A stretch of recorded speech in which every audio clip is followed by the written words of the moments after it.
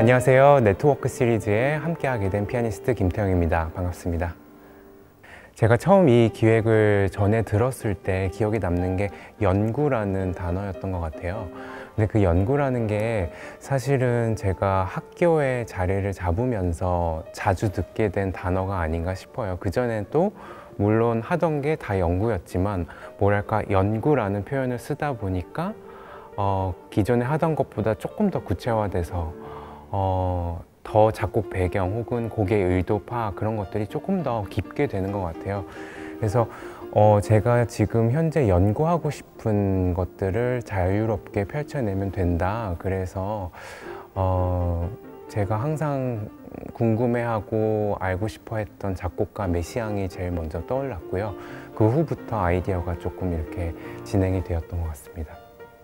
그때 그 피아니스트 노트에서 제가 약간의 말씀을 드리면서 연주를 진행했던 걸로 기억을 해요. 그때 당시에 자연, 그래서 새의 테마로 많이 곡들을 선정을 했었고, 당연히 새를 어, 통해서 연주를 하려면 메시앙을 빠뜨릴 수 없을 거다라고 지나가는 틀로 말씀을 드리긴 했어요. 어, 그때 물론 어, 지나가는 틀이었지만 저는 그래도 조금 마음에 두고 있었고요. 그래서 뭔가 메시앙을 펼쳐내기에는 금호 아트홀 기획에서 하면 굉장히 걸맞겠다라는 꿈은 있었고 어, 이번 아이디어가 어떻게 진행이 됐냐면 메시앙의 프렐류드가 드뷔시의 프렐류드에 굉장히 많은 영감을 받았다고 알게 됐어요. 그래서 아 그렇게 되면 드뷔시 프렐류드의 조금 더 유명한 작품들을 메시앙 프렐류드 조금 생소한 곡들과 같이 엮어서 번갈아 가면서 뭔가 연주를 하면 어, 연관성이 혹은 어, 너무 생소롭지만은 않게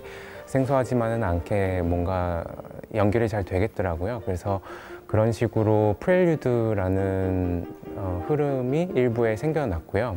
제가 항상 연주하고 싶었던 프랑크의 프렐류드 코랄 푸가 거기에 또 프렐류드가 있었고 사실 프렐류드라는 게 어떻게 보면 어, 어떤 형식을 뜻하기도 하지만 어떠한 흐름 이렇게 좀 유려하게 흐르는 그런 것들을 다 프렐류드라고 한다면 어떻게 보면 에튜드도 프렐류드가 될 수 있고 녹턴도 프렐류드가 될 수 있지 않나. 그래서 전체적으로 쇼팽의 어, 연습곡과 녹턴을 엮었지만 전체적으로 어, 프렐류드라는 테마가 관통하고는 있고요.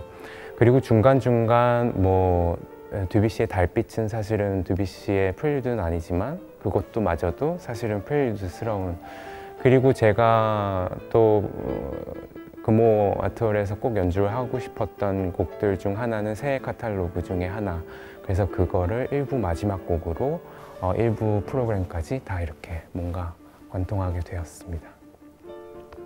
제가 몇 년 전부터 조금 시도 아닌 시도를 하는 거는 어, 어떠한 전체 그 곡이 있다면 그 곡 안에서 발췌를 해서 그거를 조금 한데 모아서 어떠한 이런 흐름들을 생각해서 연결시켜서 연주하는 거를 몇 번 시도를 하고는 있는데 어, 다 듣고 나서의 어떤 그런 어, 감정과 어, 그런 감상 평 같은 것들이 사실은 궁금하긴 해요. 제가 의도한 거를 다 고스란히 전달을 해드려도 다르게 받아들일 수도 있고 그리고 제가 어, 의도한 바가 고스란히 전달될 수도 있고 그거는 이제 관객분들의 어, 몫인데 그래서 이 아끼는 프로그램을 어, 아름다운 음악들로 어, 다 연주해 드렸을 때 어떻게 받아들여지실지도 사실 궁금합니다. 네트워크 시리즈의 special 큐레이터로 함께하게 되어서 굉장히 기쁘고요. 어, 제가 굉장히 아끼는 곡들로 어, 연주를 해드릴 건데 어떻게 들, 들으실지 굉장히 궁금합니다. 7월 6일 오후 8시 금호아트홀에서 찾아뵙겠습니다. 감사합니다.